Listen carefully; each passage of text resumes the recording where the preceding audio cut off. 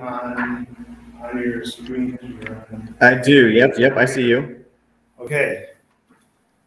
So, uh, welcome everybody. Thank you for coming to MISEC tonight. Um, I'm very glad to see all of you here. Uh, tonight, we're going to be talking a little bit about recon. It may not be exactly how you all might think of recon, but it, it is going to be about a type. I am Esquire Triggs, and I'm just going to be kind of moderating this, and I might be throwing some stuff in in here.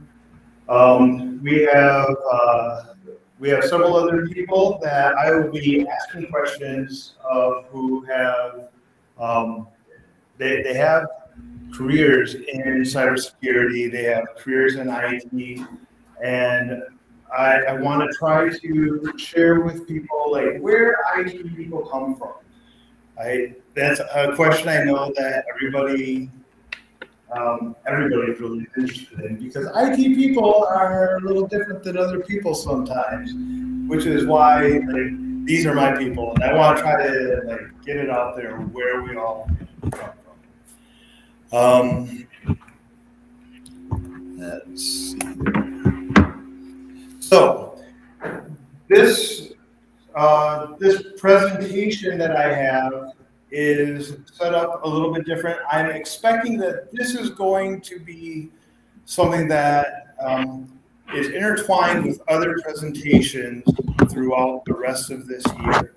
This isn't going to be something where I go through a presentation, point out all the, the cool things on you know that I'm doing on the computer or something like that um, and then the presentation is done. This is meant to be something where we start to uh, build a little bit more of a community and we build a little bit more of um, a, some momentum with how we're we're doing these presentations and just the things that come out of MISEC Grand Rapids.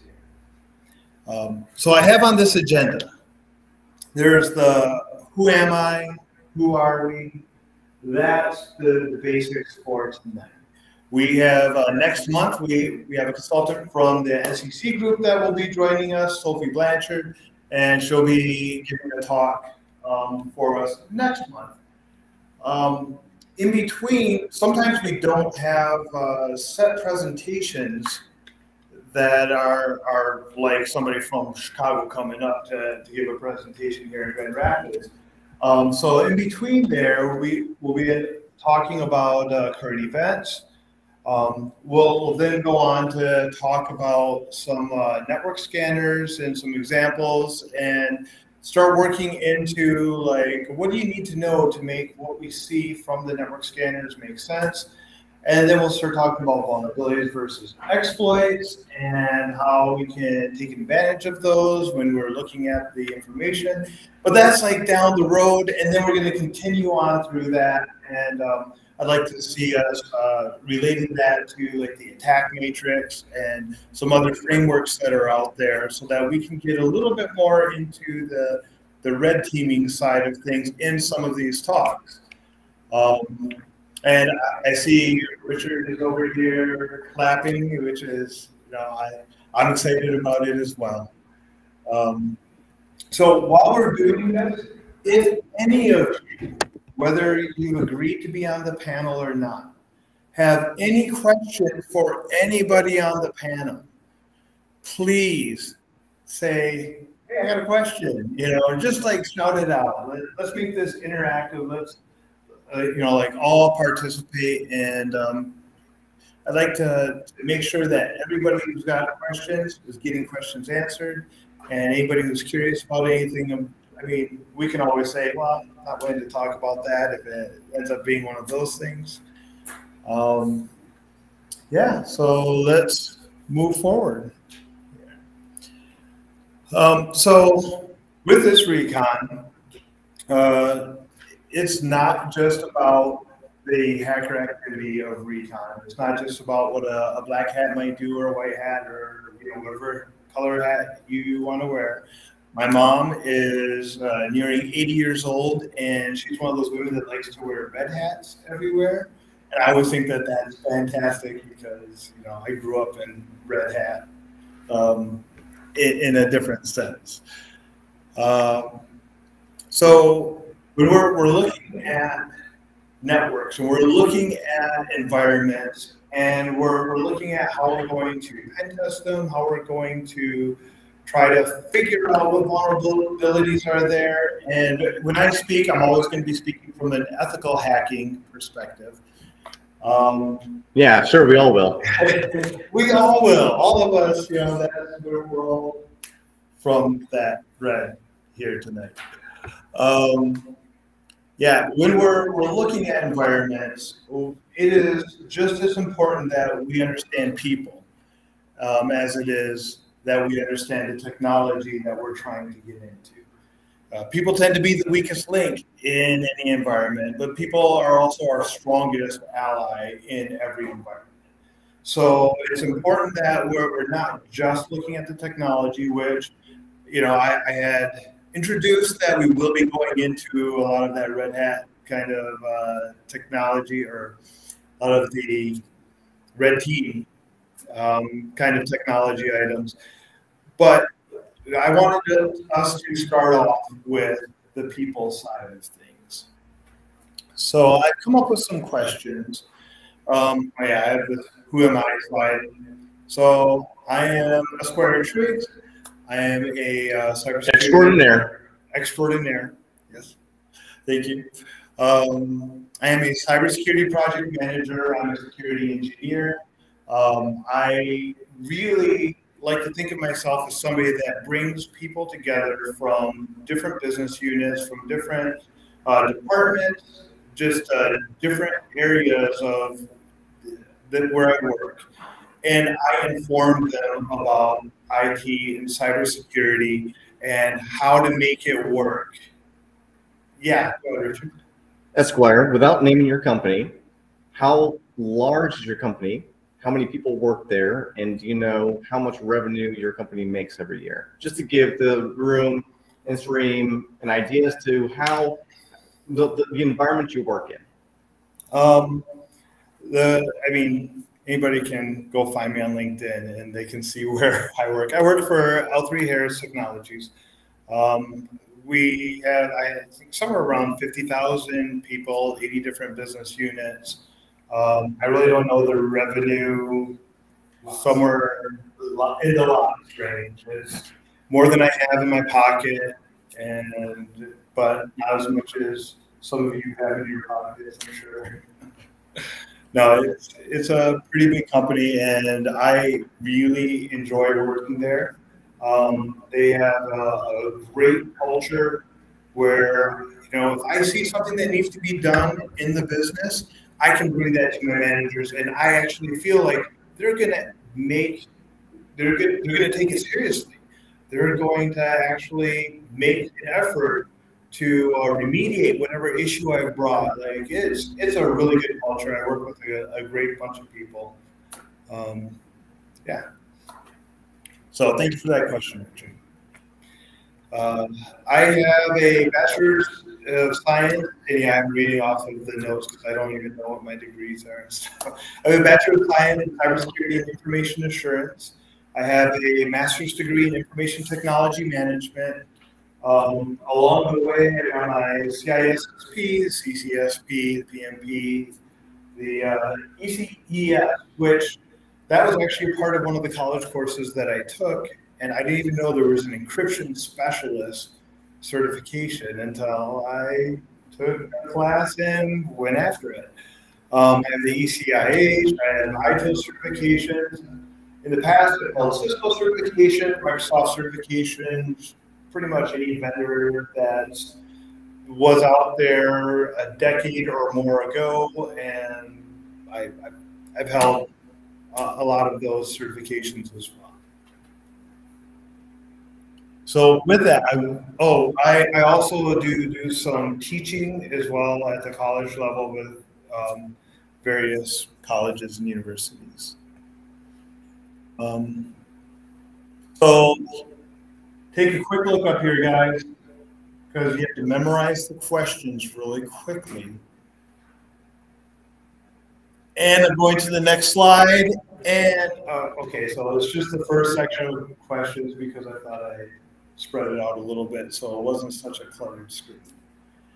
Um, for those of you that have volunteered to be on this panel, if you could give, um, like, just go through these questions. Uh, actually, let's let's do this one at a time. Did you have a, a suggestion? No, I just was going to volunteer to go first. Okay. Um, so, Richard, could you go ahead and give us your name as much as you want? Yeah, my name is uh, uh, Richard Maloli the second. I am the second. I have a father. Um, so my professional degree is in information security from Davenport, and my favorite certification was the Red Hat System Administration certification because it's all hands-on. Doesn't matter how you get the final answer, as long as you get the final answer. Uh, most difficult, uh, most difficult would probably be any of the VMware and Citrix certs because they're looking for answers that they want, not what actually matches real world. So what do I do? I am a senior security consultant at OST here in Grand Rapids. My day-to-day job is to go into organizations, big, small, doesn't matter the industry, and scan for vulnerabilities, scan um, for any, any issues in the environment, give them full recommendations for remediation, and help guide them from where they are today to where they should be tomorrow. Um, I've always been a hacker, so that's what drew me to this job. Um, ever since my first computer, I wanted to break into systems, and I wanted to do it legally after some questionable activities. So now I get to legally break the law because people pay me to do it. Always a good thing to do. So then it's not breaking the law because you have permission and. Well, but it's still a tech. It's a technical thing. You know, uh, significant memory that helps you know what's a good field for you. Um, so years ago, um, I was, you know, doing some hacking and uh, I was doing some scanning, and I had an email server running from my house. And you know, this is back when I didn't have a domain name, just the IP address of my Comcast address back then. And I was doing some scanning, and uh, within five minutes, an email showed up into my inbox from a sysadmin. He said, "Stop scanning me," and I was like, "Wow, this is the job I want." So I've been pursuing that ever since. Very nice. Thank you. Um, Dan, would you like to go next? Sure. You want us to go that right here because my, my phone is. It's Oh, you can just come up here too. Sure. That works. Yeah. Yeah. Yeah. Uh, so uh, yeah, my name is uh, Dan. Uh, as far as certs go, uh, I do have CISSP, which this guy helped out with. Um, as far as most difficult, probably that one because I had to this guy. No. Uh, other than that, I got some industry certs. Um, I, my official job title is uh, security senior security services engineer. I work for a company called CyberArk. Uh, basically, we're in the identity access management space. Um, I mostly work with uh, a lot of Fortune 500 companies. We're in a lot of financial services, in energy, retail, um, also government, stuff like that. So mostly with Fortune 500 companies. Um, I do everything from consulting, health checks, any type of technical upgrade, migration, technical issue.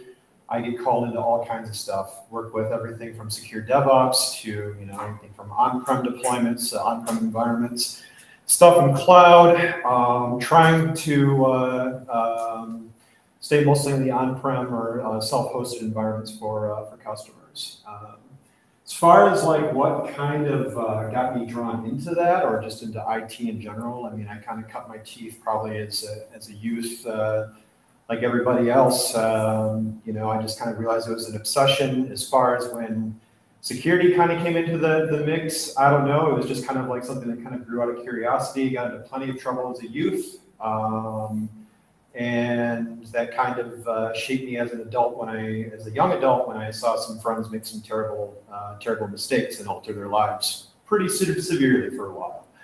So um, from the get-go, um, I just kind of realized that uh, I, uh, you know, I had a, quite a bit of knowledge and um, just basically kind of started on a path, worked, cut my teeth in MSPs for several, several years. Uh, ran my own consulting business for a while, uh, but then ultimately decided that I wanted to do security full time, and uh, eventually fell into the role that I am right now. So yeah, that's pretty much me in a nutshell. Um, as far as a significant memory, though, I mean, I, I really just don't don't have one that, that comes to mind, but um, I'm sure I might be reminded later on. But yeah. Yeah, if you think of it later on, Sure. just Yeah. pipe in. When the whiskey flows, the Yeah. memory grows. Yeah, uh, that's what we should, we should have whiskey here. And everybody just, each time somebody speaks, take, no, that'd probably be a bad idea. Not all ideas are good How ideas. far does liquor license go? It's technically, it goes exactly as far as the doors to that. Okay. Yes, okay, so that would not work.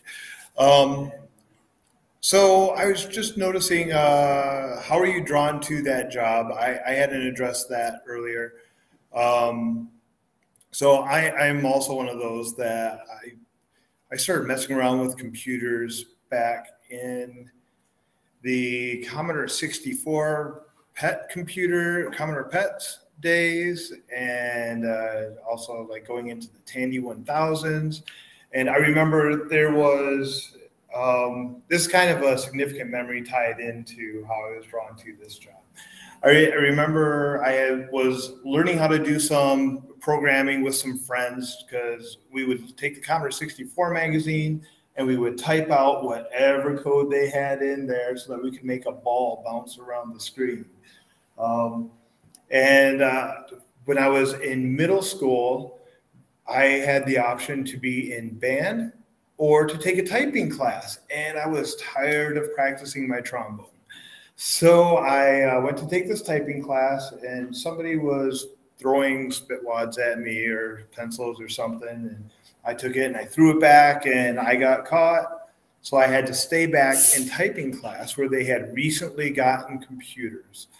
Um, and the, the teacher, like at the, the end of the day, when I had to go back to the class, the teacher told me that uh, I needed to type out 500 lines of I will not throw things in class.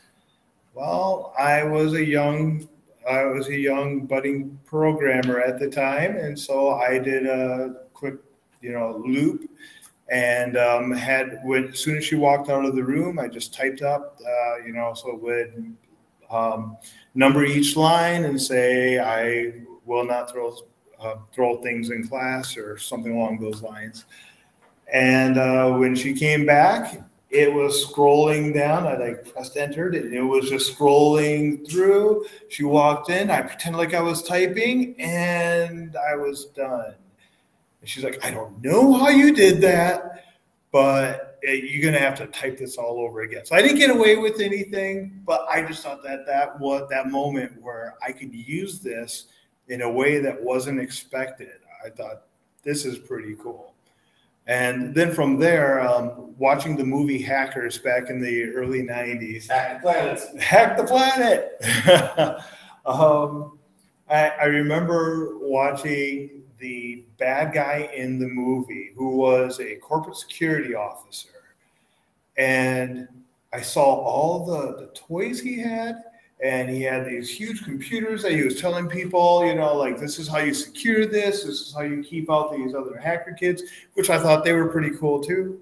But I thought for a job, that would be an amazing job just to be a part of a corporation and actually figure out how to keep hackers out because you you understand how to hack but you also understand how to like protect an environment. Like that to me was amazing. So that's where i was like okay i need to i need to go into cybersecurity at some point somewhere along the line so all right so moving on and drew how's it going Yeah, I'll stand up there. All right. Come on up. Plus, this app is making my phone into something that will lag. eggs. Those would be my eggs it's trying to boil too. Uh, so my name, Andrew Thomas Rosema, senior. I didn't think you got to be a second until you had a third. So I'm just a senior. Um, degrees, certifications, past and present. Uh, got an undergrad from an associate's degree from beautiful Grand Rapids Community College. Took me about 10 years. Um, but I had already, I liked computers as a kid too. And I kind of fell into a job fixing them for Tandy Corporation's uh, Computer City, if you remember that, out on 28th Yeah. Street, and running their service counter, which was sort of my entree into like getting paid to play with computers. Um, which is I was getting paid, so who needed a degree? But eventually, um, I went back and finished a bachelor's degree from Capella University. They're mostly an online school out of Minneapolis. Um, for reasons I'm not entirely sure of, went on and got a master's degree from Boston University. I think I wanted to spruce up my resume some, and then Wait, wait, um, how many master's degrees do you have? just one. Okay. I might have a second one from Purdue here before too long on my way to my PhD. And I did spend some time at the SANS Institute. So I, I had my my like transcript now is from like seven institutions, and I have a lot of credits. I just don't have a PhD yet. That's So you're a professional academic. All right, well, if you can call it that, And I am as close to a professional as academics get. How's that? Um, favorite cert. So um, my favorite cert and the most difficult cert was um, the the old LPIC, the Linux Plus certification. And I don't know if it was especially difficult, but it taught me um, to not be quite as cocky as I am, or at least tried to, because um, when you start teaching, and I had just started teaching, uh, you find out that the CompTIA guys will give you opportunities to take their tests once a month for, for nothing. So I was like, cool, I'll just sign up for a bunch of these things. So um, I signed up to take the LPIC was two tests. It was like LPIC one, LPIC two, and now it's Linux plus one, Linux two. Like, I've been using Linux for 20 years. I got this. And so I signed up to take the LPIC one at noon and the LPIC two at one. to just knock this thing out. And I don't know if you've ever taken one of those CompTIA tests, but you finish the test and the lady out front comes to you with a printout that shows your score. Yeah. So I went in and just bombed it. Bombed it. They wanted you to do things like memorize the switches for grep and awk and sed and stuff like that and have them memorized. So uh, I didn't. And just got roasted on the first one. And then I had to like turn around and go back into that room and get roasted on the second one as well. I later came back and took them. Um, but it did kind of nicely illustrate that point you guys were making about some certifications really want you to be able to answer the things you would see in a book. And like if I had access to a command line while I was taking that, I could have told you what the switch for cut was that told you the number of spaces that you were cutting from a command because I would go to the cut man page or I would forward slash help, but or dash dash help. So what do I do now? I'm uh, a, a cybersecurity educator. I like to say par excellence sometimes when I do that, um, but I teach the the gambit of the cybers things. Uh, as was mentioned earlier, I, I um, sometimes work for the ISC squared, so we did a CISSP prep course um, outside of my work here at GRCC. Um, I teach for uh, the U of M's um, cybersecurity bootcamp program now that I don't have to drive to Ann Arbor because Zoom is a thing. That's pretty cool. Um, and uh, So that's what I do. Um, I, I still occasionally consult, but um, there's enough teaching work these days. I don't really feel like I need to run around and find extra work. Um, how did I get drawn to teaching? Uh, well, there's two stories: how I got drawn to the cybersecurity aspect of things, and then how I got drawn to teaching. The cybersecurity thing was I used to work for the Tribune Company. They own Fox 17 here in town. That's where I started, and um, I was sort of the the youngest IT kid when anybody remember the I love you virus Mm-hmm. or the code reds. Mm-hmm. So like when those things were popping off, I was doing IT, and they were like, "Quick, find somebody to do cyber," before they even called it cyber. So they actually sent me off to um, like my first SANS 401 class in 19 no 2000 Early, early 2000. Early, early 2000. part of this millennium would be a good way to say it. So and and so that's how I got into um, the cybers part of it. Um, the teaching part of it was Linux again. I was I was managing a bunch of people at Tribune, and one of them was taking a Linux class here, and he kept coming to me for tutoring. And uh, he said, you know, they really have problems finding adjunct teachers to teach Linux. And I was like, "All right, I'll go do that. And I came over here and did it, and like the rest is history. I was like, this is lots of fun. So are you saying that you use a lot of Linux at Tribune then? At Tribune, um, yeah, like the uh, a lot of like a lot of black boxes are just Linux boxes under the hood. So a lot of the devices in broadcasting, when you get down to them, including the Harris transmitters, were um, Linux machines when you when you popped the hood over and started doing things with them. Um, and then a significant memory that helped me know this was a good field for me. I don't know. I, I think, um, like you were saying, Esquire, um, I tell my students these days, like, I don't remember learning how to walk, I don't remember learning how to swim, and I don't remember learning how to code. Because, like, I had a, a typewriter my dad gave me to tear apart that had like an LCD and you could like make the stuff, make the characters move around on it. And it was broken, but the LCD still worked as a, as a little kid. And then my first computer was a Commodore 64. And I credit whoever sold that to my mom at the garage sale for kind of getting me into the BBS scene because it came with boxes and boxes and boxes of pirated games and a coupler modem and the number to a bunch of local BBSs, one of which was run by Darcy Swope, who still works for Grand Rapids Community College, and her husband. So that was kind of what got me into the scene, if you will. Um, but has anybody ever heard the 10 hack commandments from Dual Core? Dual Core is a nerd core hacker rapper. I have not heard. We should, we should, we should, that should be our outro music. Um, but um, one of the things that I learned as a young person in that scene was that you just shut the F up and you don't go to jail.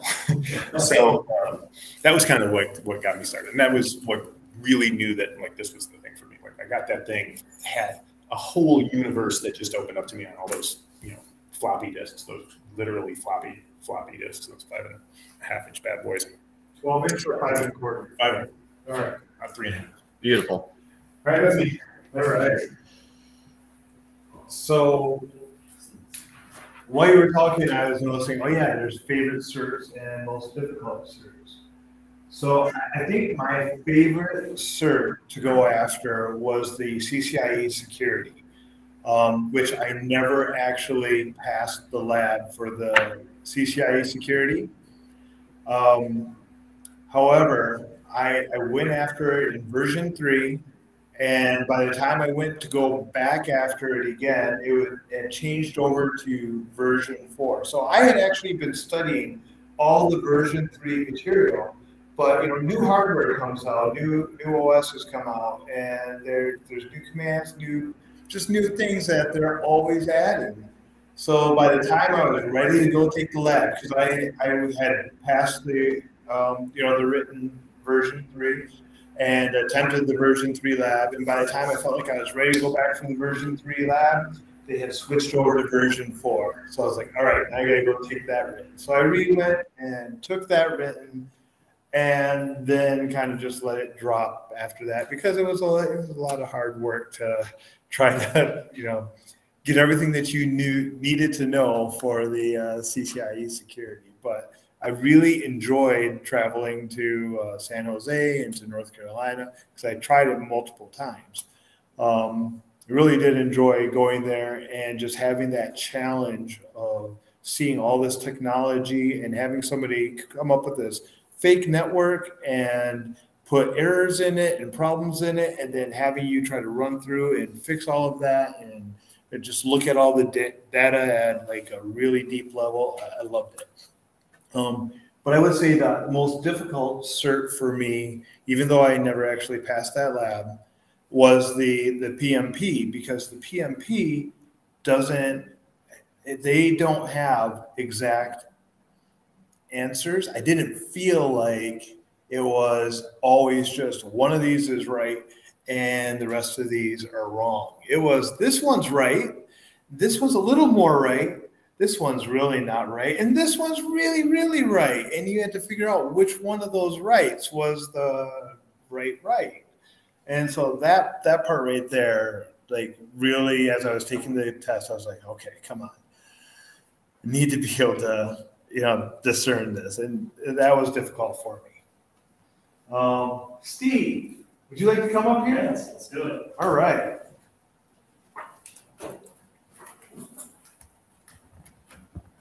Hello, everyone. Uh, my name's Steve Martin. Uh, yes, I am a wild and crazy guy.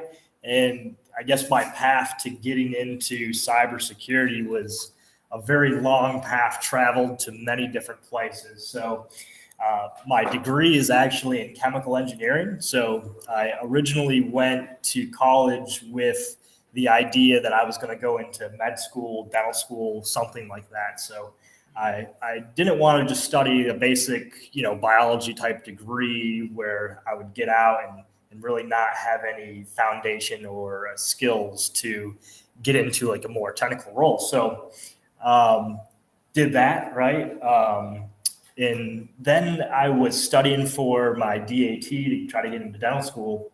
And I realized uh, all of my energy and time was kind of more so spent tinkering on my computer, learning how to code, um, you know, learning how to pirate stuff from news groups a very long time ago. Don't hold me to that. Can't tell you where I got it from or what I did, but um, you know, so I kind of in a roundabout way got into the uh, tech industry, and so. Uh, when I realized that at the time I was uh, just kind of barely making it by in college, so my part-time job was at the Geek Squad, um, so that's kind of how I got started uh, in the industry.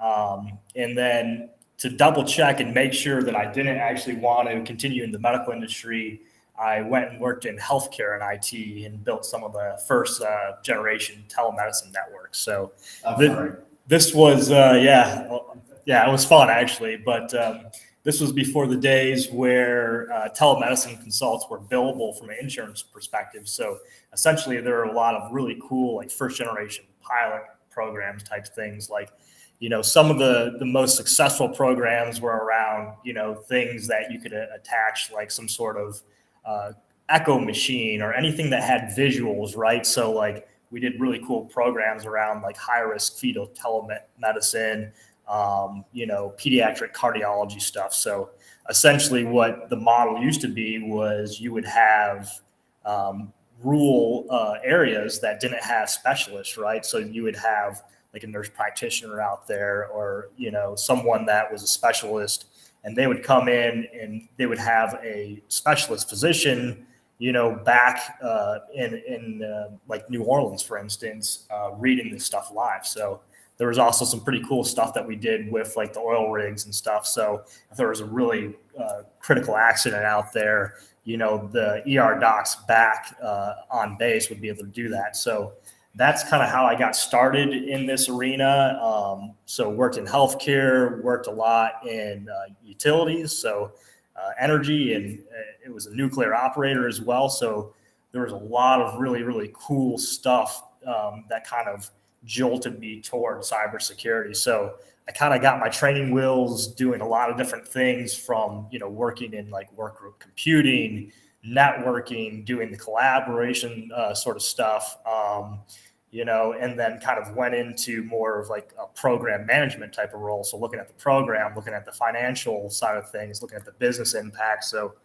you know, that's when I started to kind of trickle away from being uh, solely focused in as an engineer. But as far as uh, my favorites, sir, you know, I can't really pick uh, one that I would say is my favorite. I is it like picking your favorite child? Yeah, it kind of is. You know, I have three, so you, you can't really do that. Um, I'm a guy that likes constant change, and I think that's what really has drawn me to IT and technology in general. Because I mean, our job right now in the cybersecurity industry is changing because of what someone's doing today that we're going to find out tomorrow, right? So that's what really kind of draws me to this industry more so than not. Um, you know, I've got a PMP, I've done the ITIL, um, uh, CCNP collab. I think that was probably the most challenging one just because the, the practical laboratory part of that for me was extremely challenging. So,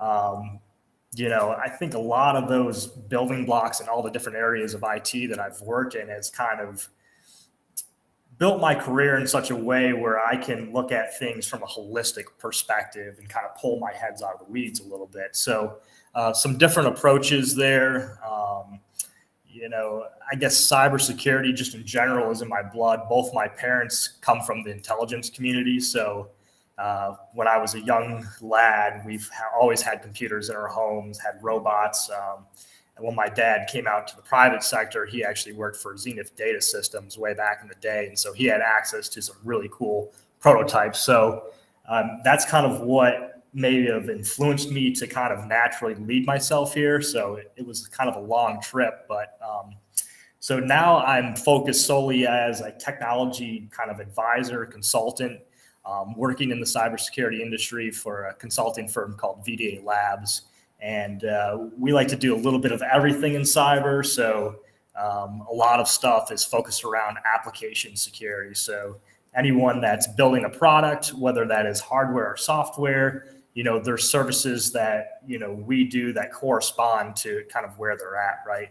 Whether they're just getting started with developing a security track or they're very mature, you know, we can do point in time assessments and a lot of other things. So um, that's kind of how the company started. And then we got into a whole lot of other areas like GRC and active monitoring stuff. So we have a SOC. And so basically, what I like to do is meet with people, understand what their goals are, how they're trying to achieve them, where they're at as far as their cybersecurity posture, and and just work collaboratively with them to figure out a plan. Right? I mean, one of the biggest things that I think I really really like about technology is people come from a number of different backgrounds, right? And so like I see people in the tech industry that are highly successful that come from like very creative backgrounds, like a lot of musicians, people that are artists, and there is no right way to do cybersecurity, right? And in fact, in my opinion, the chaos there makes it a little bit more challenging for hackers to try to figure out exactly what you're doing. So, mm-hmm.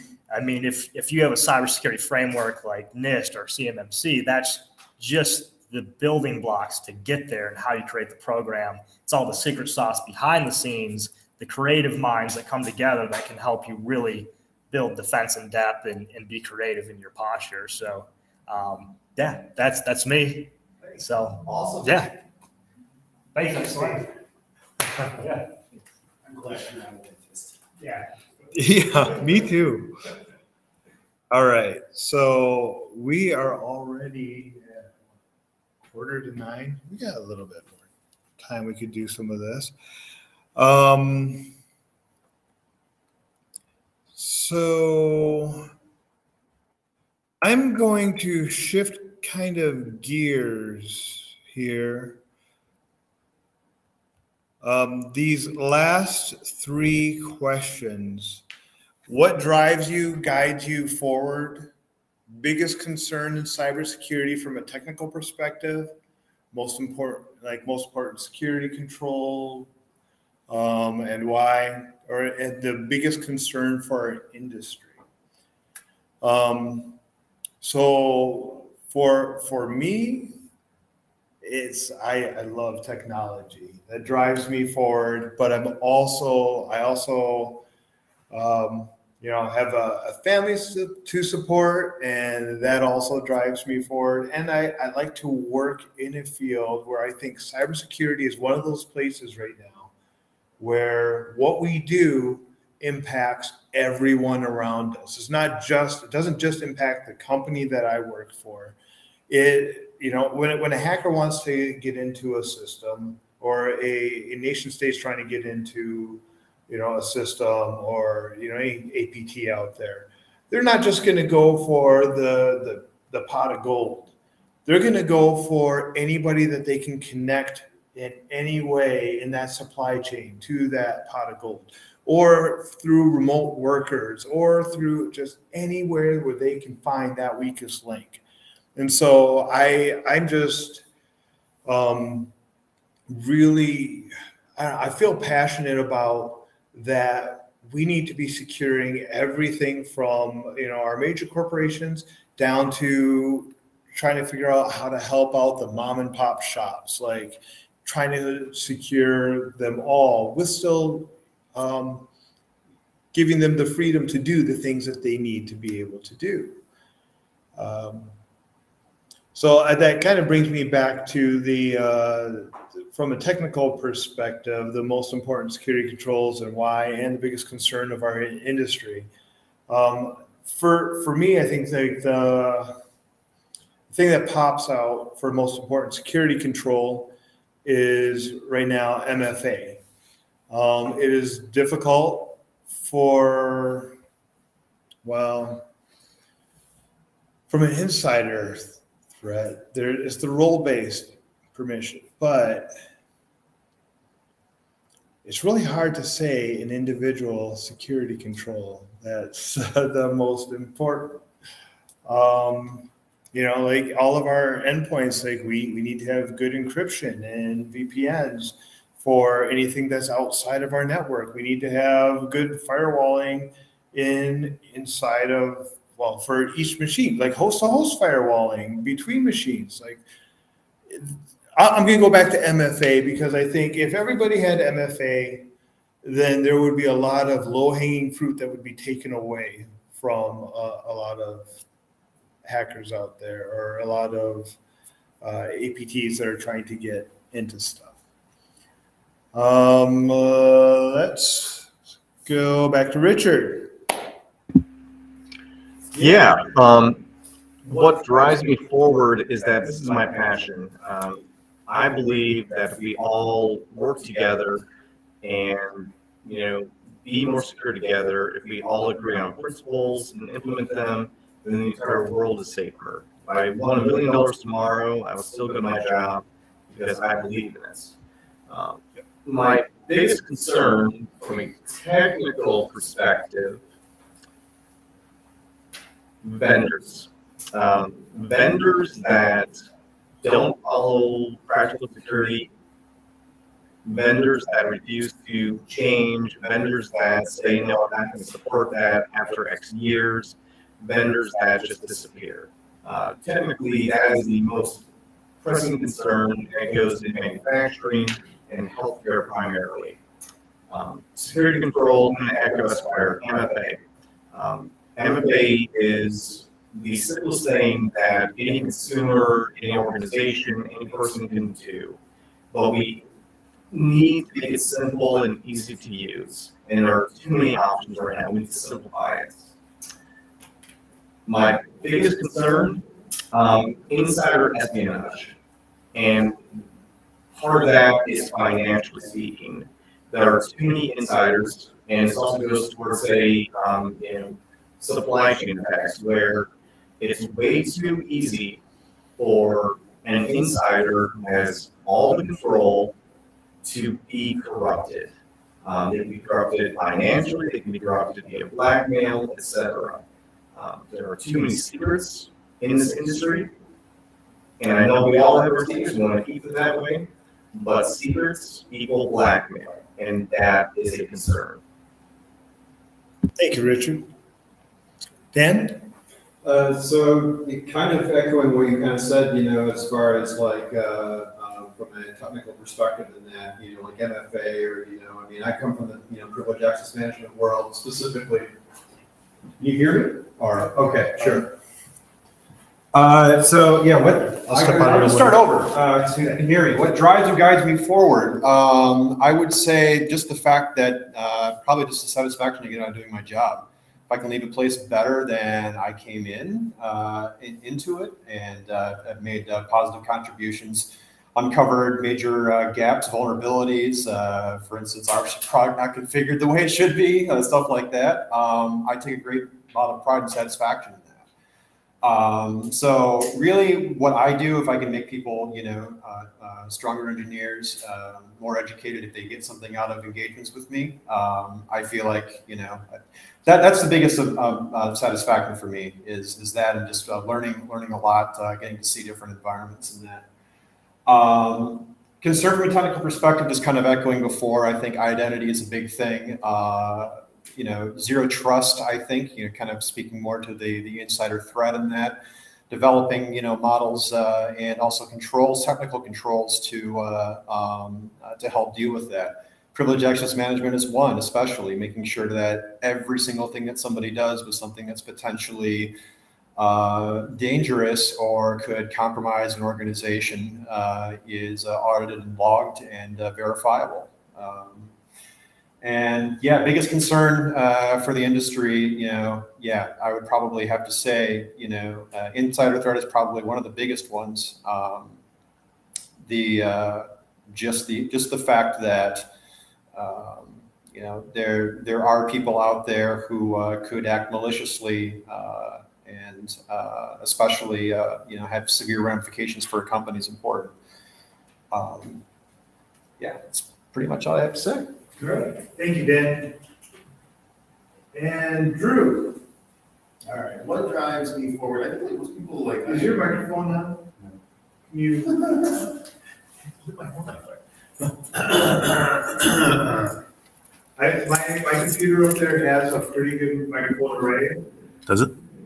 but, uh, So what drives me forward? Um, uh, the thing that I think, like most of us, I'm curious, and um, that keeps me fired up, um, both as a student and as an educator. I like to learn new stuff, and uh, like we just landed this grant to take part in a big AI um, training program. Uh, which apparently we'll be putting together classes on that, and the person doing that might be me. So I'm pretty excited to learn all about AI. So my machine learning chops could use a little development. So, uh, like the fact that there's always new stuff. It sometimes I talk to my students about like a technology treadmill that you get on, and it just does not stop. I like treadmills, so I, I find that enjoyable. Um, from a technical perspective, um, can I? I'm going to lump biggest concern from a technical perspective and biggest cons- uh, concern for our industry into the same thing: um, the ability to anonymously move currency around Mm. the planet is the reason we have ransomware and is the reason we are putting up with this. And the fact that we have allowed kind of this laissez-faire approach to cryptocurrency to happen has enabled uh, ransom, like literal ransom, drug dealing, encrypting people's businesses and and and uh, shaking them down for millions of dollars. Um, not seeing a big upside there, and I don't see any way around it because I think I'm pretty well versed on how the technology works on the back end. That uh, there's not really much of a solution other than to legislate the hell out of it. So I think that's our biggest problem: that people can move around millions of dollars anonymous, pseudonymously. Um, is huge, and it, it, it's the reason we're all terrified of having our organizations turned into, you know, encrypted things that we're being uh, audited for. Um, so the most important security control for that, um, I'm going to say, education, because I have a dog in that fight. But um, the the the the biggest, what do they call it? The infinity day vulnerability that is your users. Um, can also be the human firewall that keeps your organization safe if properly trained.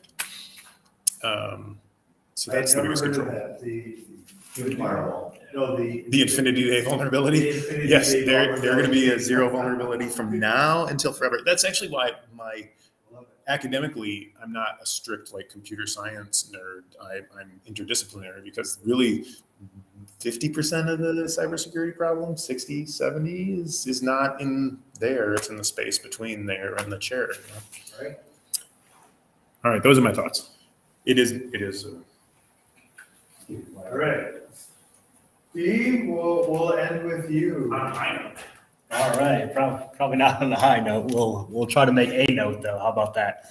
Um, kind of what drives me forward, eh, kind of in this industry specifically is, you know, just safety in general, right? Um, you know, with autonomous vehicles, with aircrafts that are essentially autonomous as well, there, is- there's a huge safety impact to cybersecurity. So, how can we systematically solve those problems right? We all have to work together right? So there is that whole problem inside of the the cybersecurity industry is you know trade secrets right? And ultimately that's what we're all trying to protect right? So um, it really gets to be interesting but that kind of drives me forward. And, and again that constant change constant ability to learn new things right?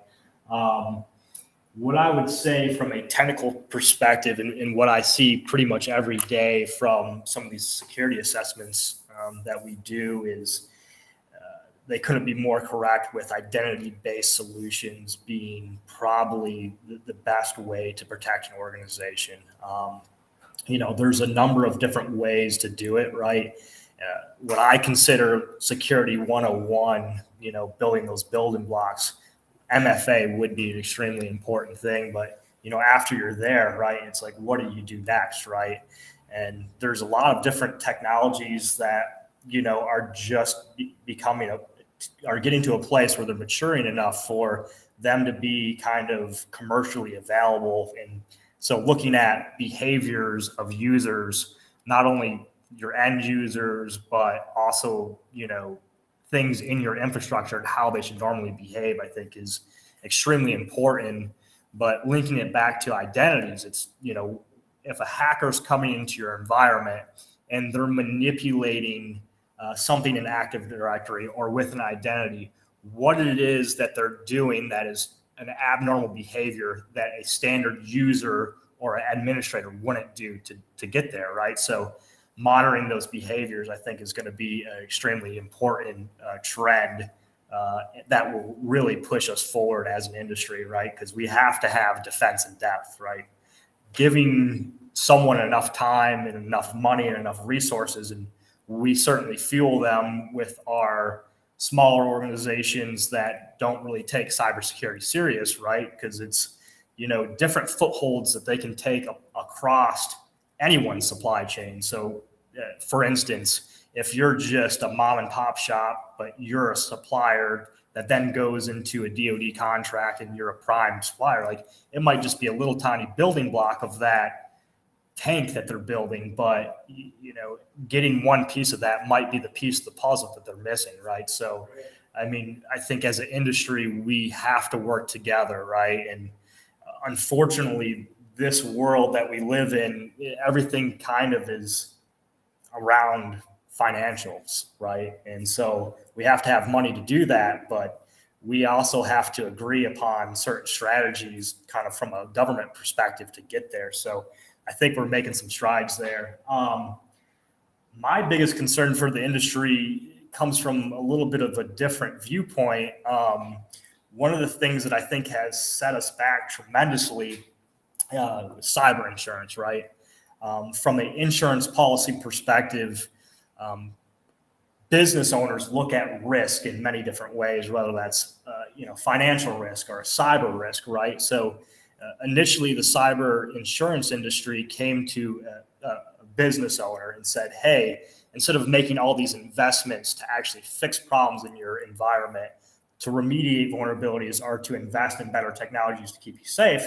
Here's this insurance policy so that when you do get hit, we'll just pay you for it. Right. And so that I think has caused our industry to salt to kind of stall a little bit. Um, and that's kind of blowing back up on them. So that's totally changing as we speak. And I've seen a lot of cyber insured agencies now uh, mandating that people do the basic security 101. So um, you know, it's getting better. They started losing money, and now they figured out a way to do it. So uh, we're we're headed in the right direction. So, Cool. yeah, thanks. Thank you, Steve.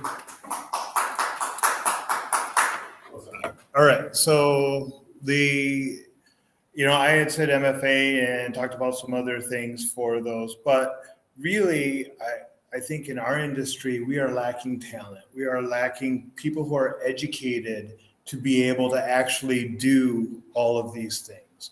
Um, so that's one of the reasons why I absolutely love like this organization, MiSec. I love like anything where they're educating people. And this goes back to what you were saying, you know, our we need more people that are both at the user level that um, can help support, you know, make smart decisions for for cybersecurity, but as well as we need actual cybersecurity professionals. Um, so tonight we we met, you know, myself and Richard and Dan and Steve and Drew, and I thank you guys for sharing all that you did about your careers, where you came from. Um, and I want to encourage anybody who sees this, who finds this interesting, to join either an organization like this or come join us for these MiSec meetings so that we can share our knowledge, you know, with you, so we can learn from you as well. Um, and I, I would just love to see this community grow. And if you see this online and you have questions and you want to like comment on the YouTube video or on, you know, wherever you ended up seeing it, you know, start that conversation so that we can all be building this community and making this community better. Thank you all for, for watching and thank you all that, that came. I, I appreciate you all being here tonight. Thanks. Thanks, Esquire.